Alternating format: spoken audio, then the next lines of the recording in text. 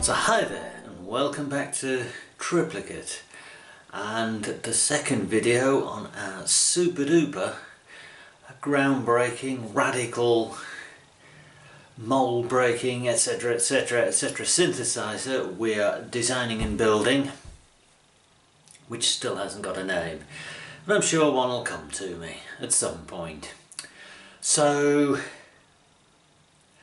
Last time we decided this synthesizer was not going to have oscillators and envelopes and so on and so forth. The conventional building blocks of a synthesizer, it wasn't going to have a keyboard, a black and white piano style keyboard.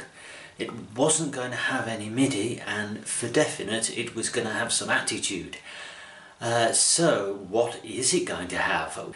Uh, well, let's try and decide that now. So, to that end, we'll sort of backtrack a bit and do a bit of sort of historical stuff on my part as well, which is why we have these things wrapped in cardboard on here, which I will explain.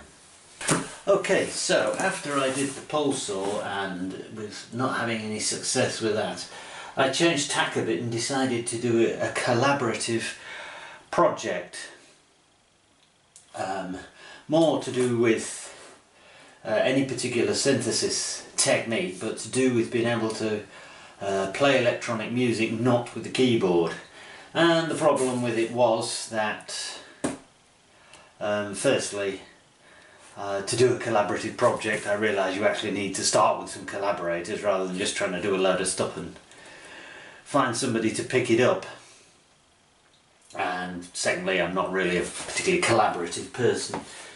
Um, so that stalled and then I sort of retired and went over to doing YouTube stuff instead.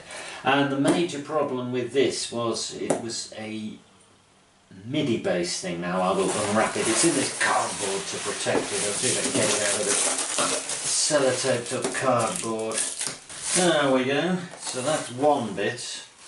Uh, can you see that? And it's big so I can only get one bit in shot at a time. Where am I going to put this? Over here somewhere. Not enough space. And here's the other bit. So the idea of this was it was going to be flexible with various sorts of input which you could combine to make various sorts of playable instruments. And the other bit. So let's look at this this first bit I opened first. So this has a mess. That's supposed to. Get this in shot here. Yeah. Now that goes in there. So this has piezoelectric sensors underneath these little bits of painted plywood and they act as drums. Uh, but the problem with it was is firstly it just outputs a MIDI note on. So I've got a thing with pads on somewhere under here. That's it it's not doing anything that isn't doing. With its pads which just output MIDI notes and velocity and the problem with it was is the input to the piezoelectric sensor depends very much on where you hit it. Let me see if we can get one of these off. Oh yeah. Blah, wrecking it. There you go, little piezoelectric sensor. So that basically was a non-starter and I think that was what discouraged me from the project. But it wasn't doing anything exciting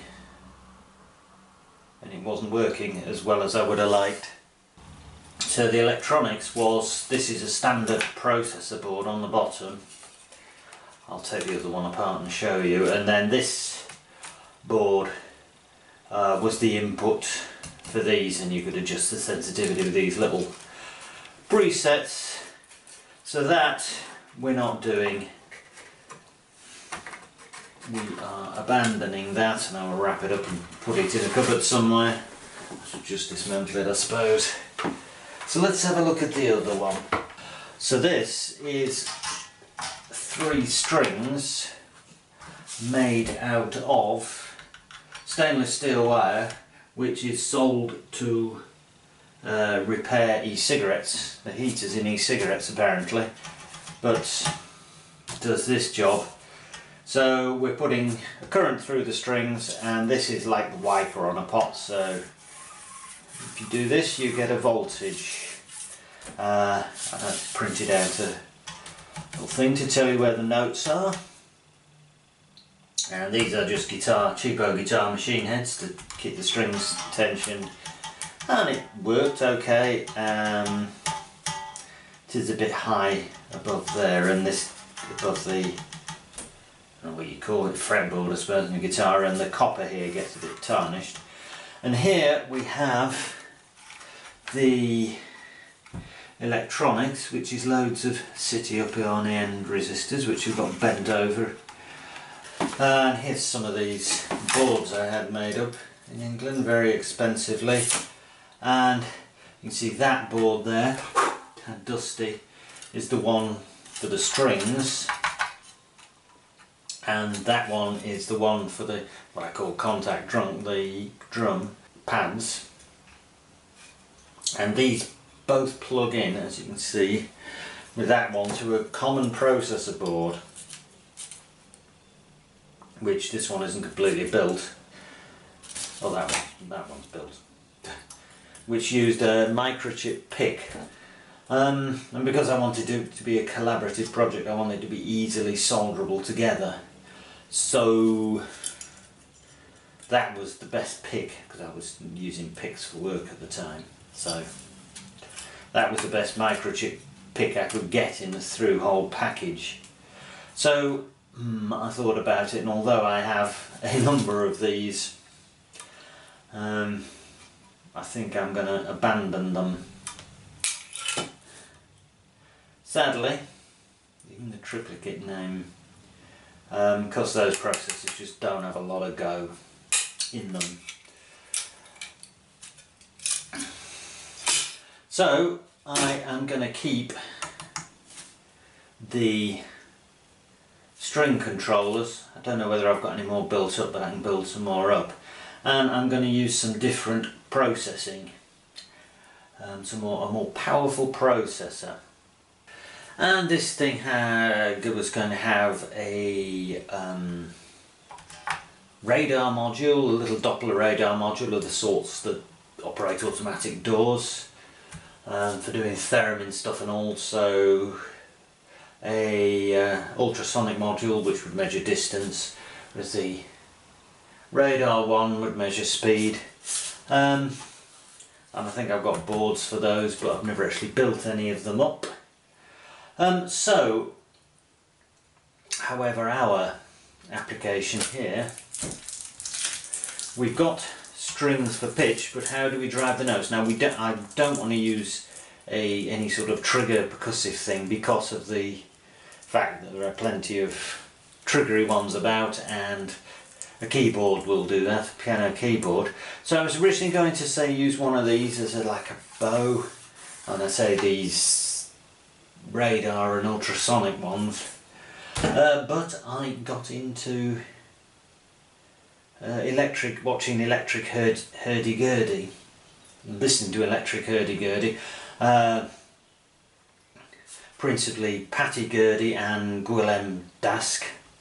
My apologies for horribly mispronouncing his name. And there are links to those two folk. Go check them out. They're uh, they're good fun. Um, links in the um, description. So I thought, why not do a sort of turntable arrangement, uh, like a hurdy-gurdy handle, only we're going to do it like this. So let's get rid of this for now and let us bring in this which is down Um, this is intended, you put your, if you're icing a cake, which Angela does, you put your, some sort of a, a board on there and you can just turn it round and just access all the sides easily. So we're going to start with that. And I have here, save me bothering to cut something out round, bought off eBay for £4 something, a disc of acrylic which will screw to the top of there like that and now I think that's going to be a bit heavy, there's going to be a bit too much momentum in it with this enormous great metal ring in it. but we're going to go with it for now because uh, we can get it working and then take a view once we try and play it. So there is our like bow or blow or in fact hurdy-gurdy handle input so that would be like going moving a violin bow back and forth. So how do we detect what position that is? Well, we have here a little Hall effect semiconductor magnetic module which we're going to get out of the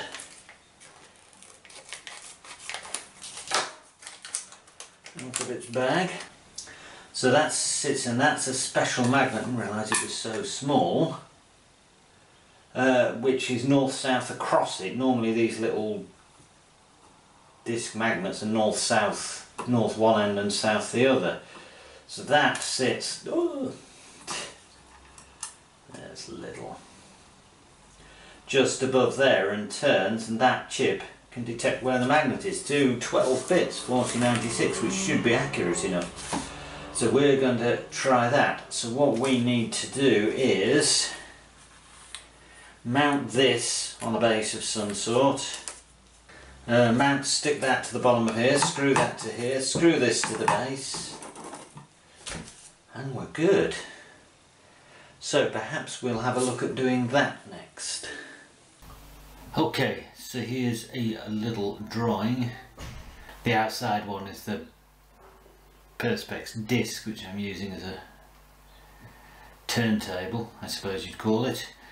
Uh, and the inner one is the outside of the ring of the the uh, well call it a lazy susan. That's what they're sold as.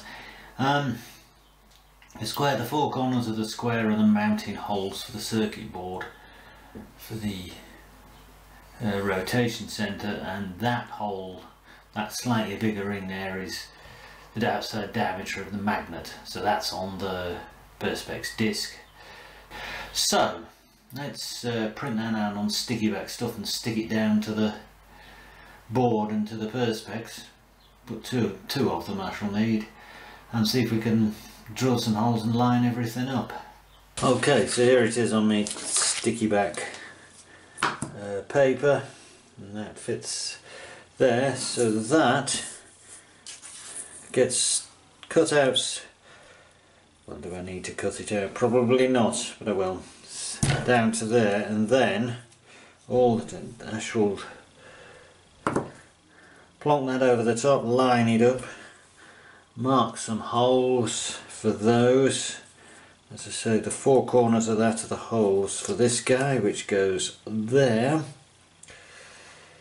And then I shall go and drill some holes downstairs. So let's cut this round the outside I'm sure I need to. Okay just hack the bottom off. It doesn't need to be cut round to the to the outside to do this job so I shall I hope. Okay really did not want to come away from the backing. Right let's line it up. This is just a hack did I say that? And this white stuff wood is just a piece of shelving board. Got to make some shelves. For the kitchen and the boat so there we go. And I've seen no point in making up a some kind of a fancy good and pretty looking hardware setup and then finding that it's wrong. And I've spent however much having laser cut bits made that don't fit. So there we go. We plonk that there.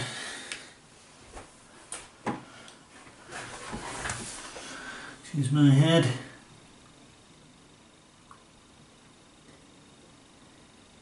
We line it up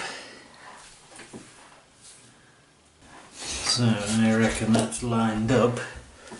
We carefully. Stop it going anywhere.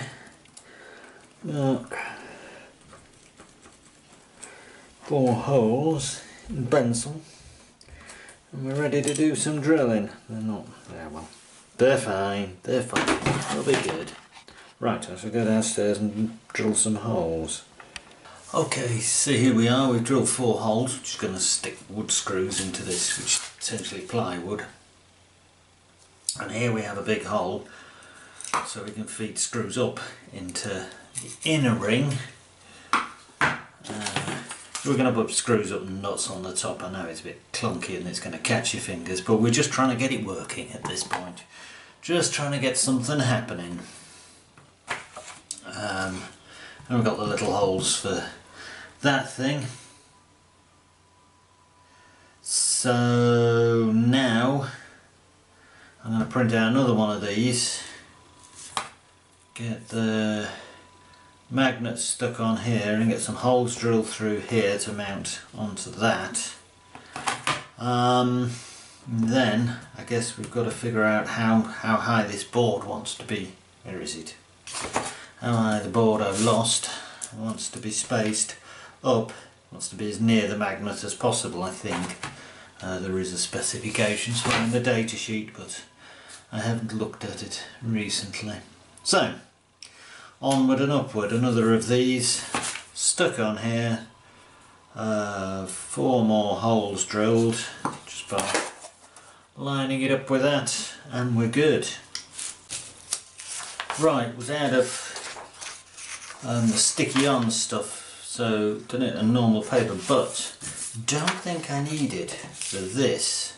You can just plonk this on like this hold it down and mark four holes,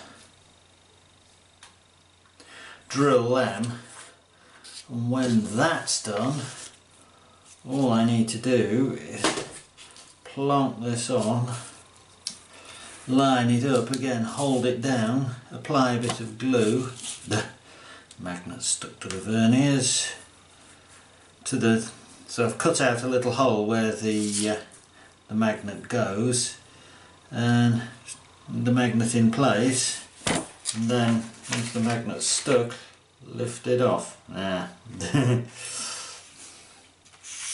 I need to increase the size of that hole a bit. So that's the plan. Firstly we're going to drill some holes for this. So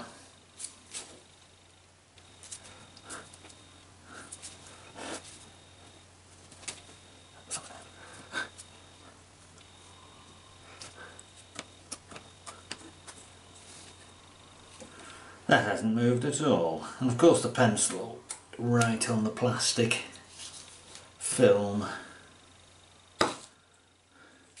Just enough. One there, one there, one there, and one there, I hope. Right, let's drill some holes. Okay, drill me holes, hope that lifted but it's just uh, film on the back which I haven't taken off yet. So yeah, here's my uh, disc for the top and the only thing I need to position is the magnet Let's see if I hold that up to the camera, it'll focus. The little magnet for the uh, position sensor. So I cut a, a little round hole in here, ish, and I've glued the magnet down with um, super glue. So that's that job done. And I'm going to find this paper is super glued down. Yep, and the magnet is glued to the paper. Right. And look, the magnet is glued to the paper, I think. I mean, it's at a bit of an angle. However, because it's the bottom, of I marked a scratch on here and a scratch on those washers here somewhere. There's the scratch, so that goes on like that. Because these holes aren't perfectly machined, so it goes on a certain way. And I have machine drilled a hole here because how do we get the screws in? We screw that down but then how do we get screws up from here and hold them? Well hopefully we can whiz it around and line each one up with that hole and put a screwdriver up through the hole. Hopefully. So we are getting there. I also need to uh, this goes on a certain way as well and I can't remember which. I need to mark that. Um, find out how high I need to um, block this PCB up so the top of the chip there is uh, not too far from the bottom of the magnet. I can't remember the exact distance. Well there's a range of distance but it's got to be quite close for it to work properly. Uh, so I think that is the next two jobs. Uh, and I also need a way of getting the wiring out from this board out of here. And I hope the, with I squared C, isn't going to be too far between here and the processor board. Okay, better idea for getting the connections in and out of the circuit board. So I have two washers, these are M3 washers, or possibly M4 washers. So two of those, because I have to space this up anyway, because these two, there's no gap or anything. These two are the same thickness, so if I put this flat down, this will drag. But if I use two of those washers,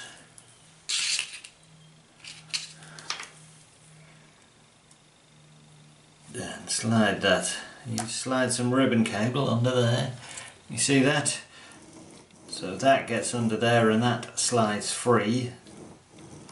So I just need to fasten the ribbon cable down nicely either side and we're good.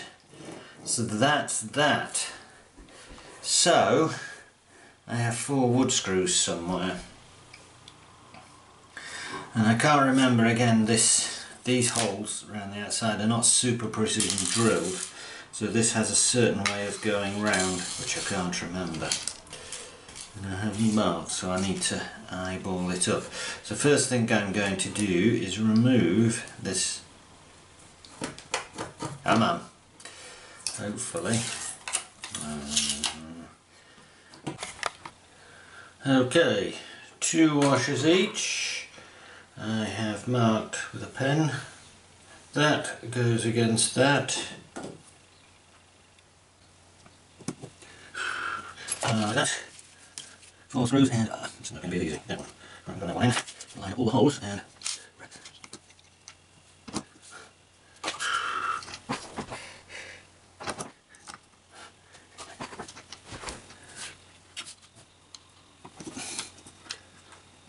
No just fourth small screw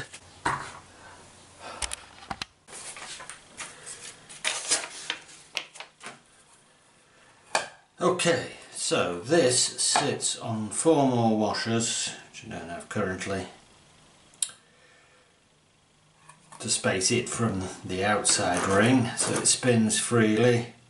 So I need to work out how much I need to space this up so it's just short of the magnet. So,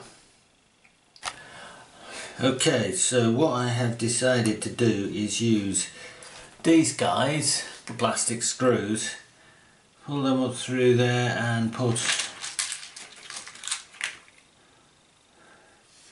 a nut on the top so I can just drop the the disc over the top which means there are screw holes, screws pointing up out of there which will hit your fingers as you're using it. But it's a prototype. If we find it works we'll come up with a better system of mounting it. And if it doesn't work we haven't expended too much energy solving that particular problem. So mm -hmm, let's see if our hole works one Oh, look at that. Ah, can't focus. Who knows? Oh. Uh, can't. There we go. So, let's see.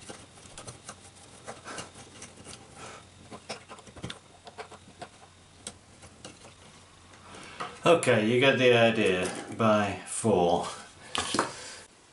Okay, so four little plastic screws in place and this just sits over the top of here and chances of these lining up with these holes is yep two of them.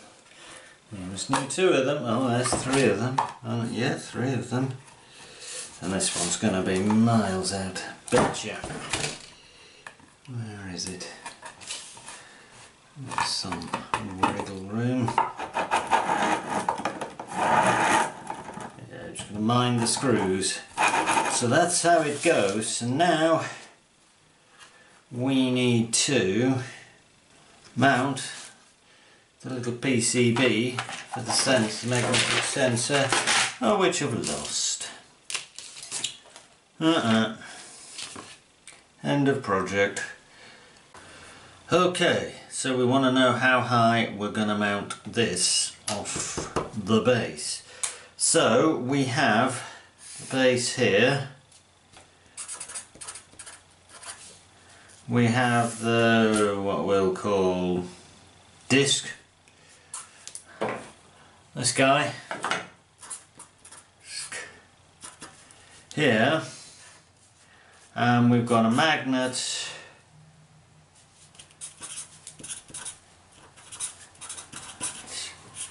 there which has a thickness here.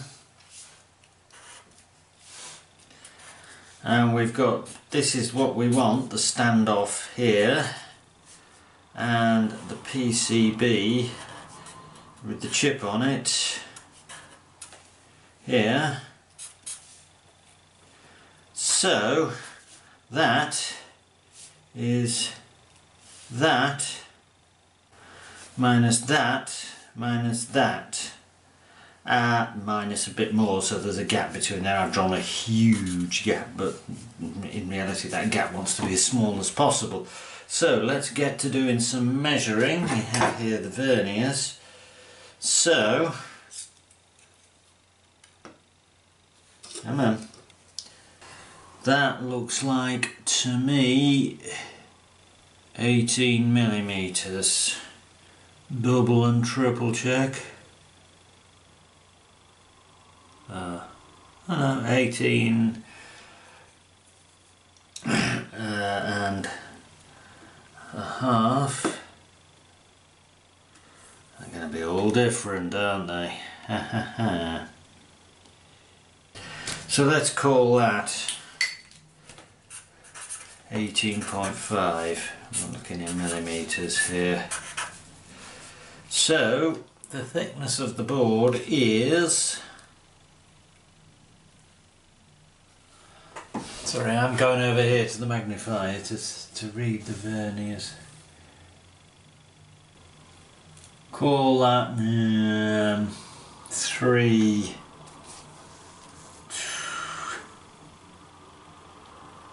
about 3.25 we want the height of the magnet so it's going to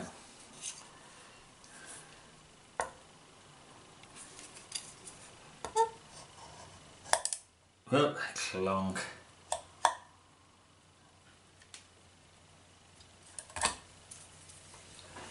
Which is two millimeters. Two. So if the magnet was touching that, the height of the spacers would be 18 and a half minus 5 and a quarter. 18.5 minus 5.25 which is 13.25 bearing in mind that can be that is actually 18 to 19 depending on how you measure it so we call that 18 and a quarter 13 give it a millimeter Call that 12. Alright, I will find 12 millimeters worth of spacers. Okay, so full screw screws from the bottom. Four of these. Um, and on top of those, one each of... You can't see those, can you? Two types of washers.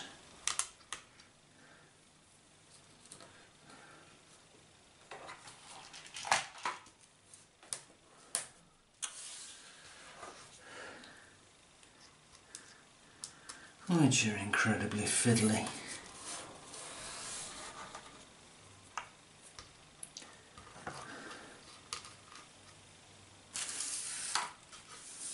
Um, oh yeah.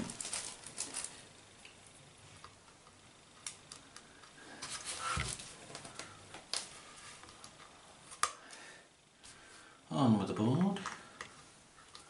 And the pillars don't line up super duper.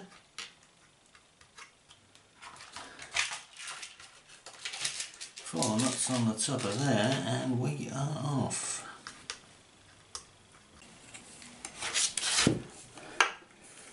Okay, quick sanity check. And that is actually way, way, way too high. So what have I done here? Alright, I know what I've done. Misreading verniers. Right, misreading verniers with no excuse having had my cataract fixed and new glasses that match the new lens uh, they put in my eye. I still get it wrong. So I misread these by 5 millimeters, so it's actually 13 to 14.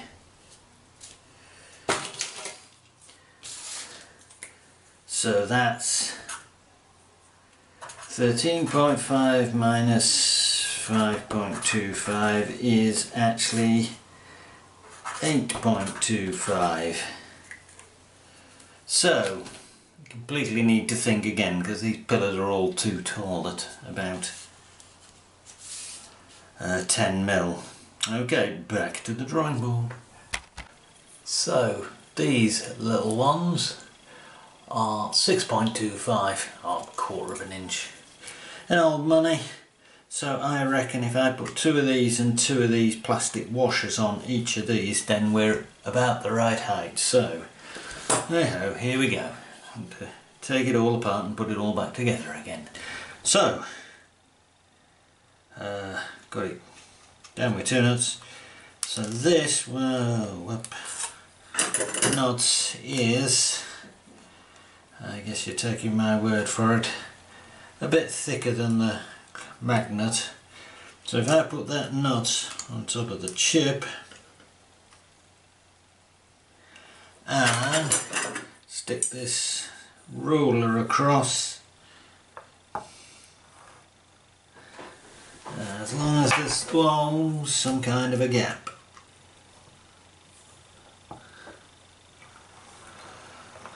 Which there is, I think. We're good. So we're going to go at that. Not a big one, but I think it's going to be enough. So, should we try putting this back on here? So, trying to find my scratch mark that lines up with that and it's on the underneath. Ah, that wasn't very clever. So we're going to have to see if we can find combination of holes that line up okay.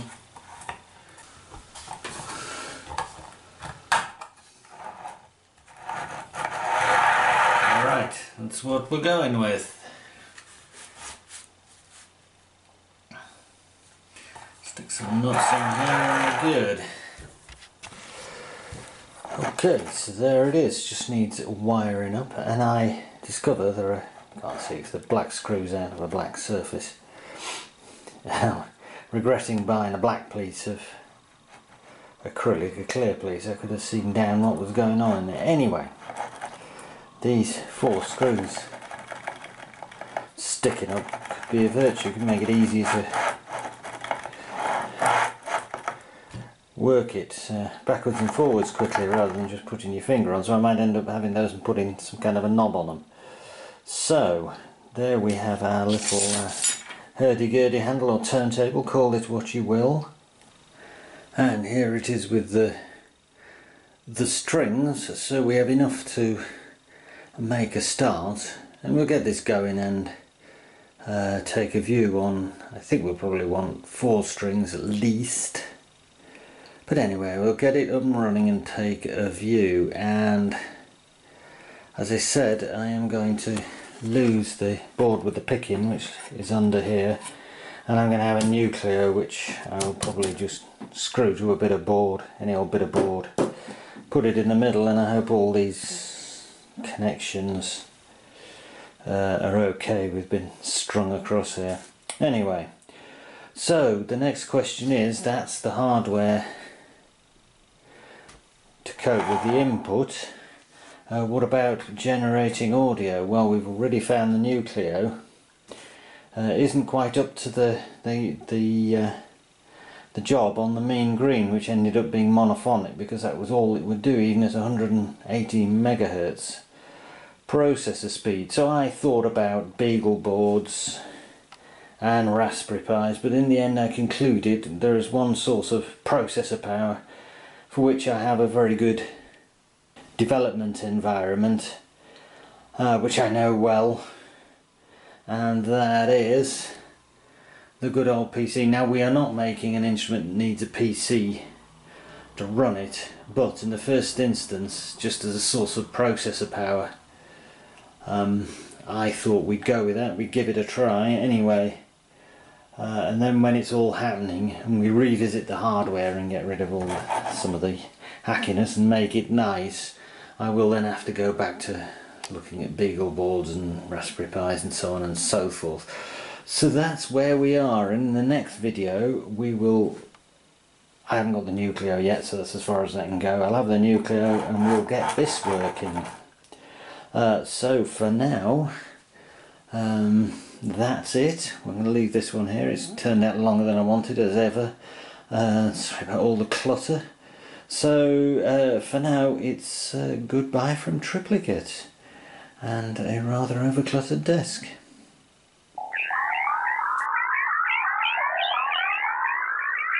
Goodbye.